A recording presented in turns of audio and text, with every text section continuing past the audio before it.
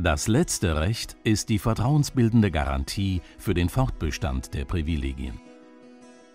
Dieses schütze die Stadt vor willkürlicher Änderung oder sogar vor der Aufhebung durch Nachfolger. Der Graf durfte die Einnahmen aus der Stadt nicht an Dritte verpfänden.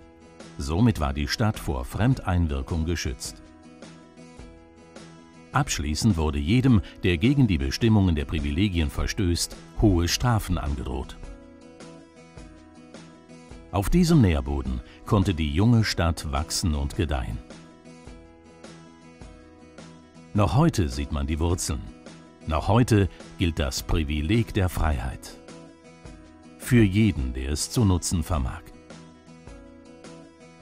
Doch alle Vergangenheit ist nur ein Prolog. William Shakespeare Vollständige Sicherheit kam erst 1725 mit der Wetzlarer Punktuation, in der neben einem Vergleich zwischen Graf und Stadt die Toleranzpolitik reichsrechtlich anerkannt wurde. Damit war die Grundlage gelegt, dass sich Neuwied zu einem der ersten Industriestandorte Deutschlands entwickeln konnte. 1738 beispielsweise wird das Hüttenberg Rasselstein gegründet, das noch heute ein maßgeblicher Arbeitgeber der Stadt ist. Mit dem Zuzug der Herrnhuter Brüdergemeine kommen neben anderen Handwerkern Abraham und David Röntgen in die Stadt, die schon damals ihre Möbel in ganz Europa verkauften. 1806 wird Neuwied preußisch und die Freiheitsrechte gehen in preußischem Recht auf.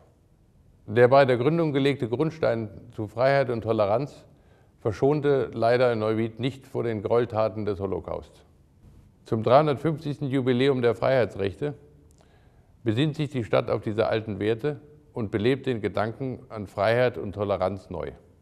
Wir wissen, Freiheit ist die Grundlage für Entwicklung. Freiheit erfordert jedoch auch, die Verantwortung für sein Tun zu übernehmen und die Folgen seines Handelns zu erkennen.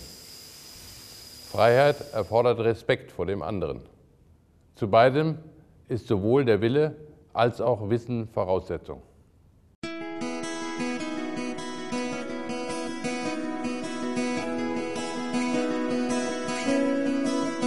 An den Menschen erkennt man das Wesen einer Stadt.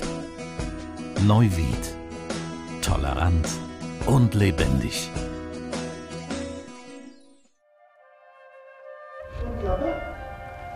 Sieht man mich?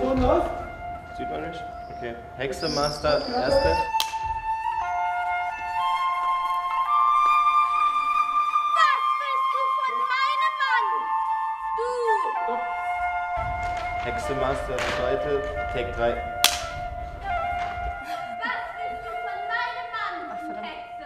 Soll ich eigentlich hin? dem bürgerlichen Wesen aufrichtig vorstehen werde und eine Gla das ist dieser blöde Satz, jetzt wollte ich damit anfangen.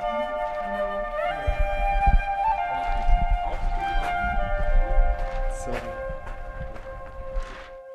Die Gerechtigkeit, dem Großen und dem Gedringsten,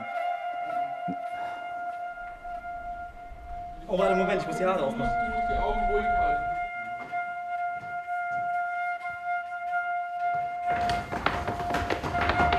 Und bitte.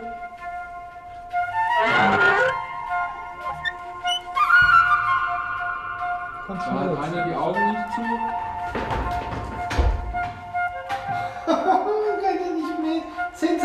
Weiterfahren können. Danke. Gut. Gekauft. Heb nur nicht.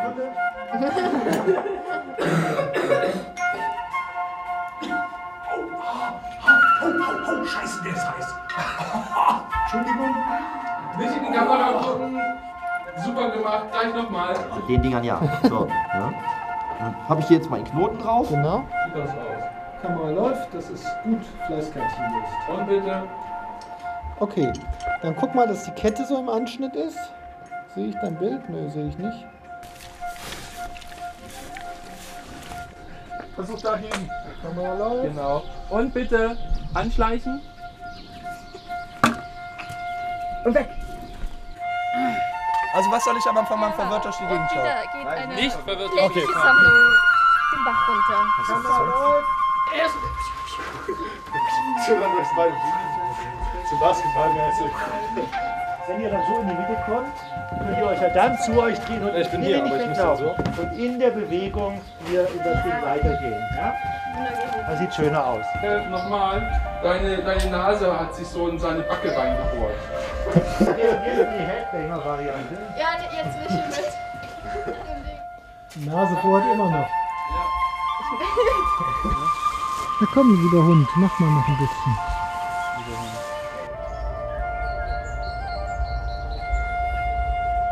Da ist einer durchgelaufen. Im Wettbewerb der Kommunen Geht. Also, ja, üben ist immer gut. am sichtbarsten wird es zur Feier der traditionellen historischen Nee. das war aber ein Haspler. So schwer ist der Satz doch gar nicht.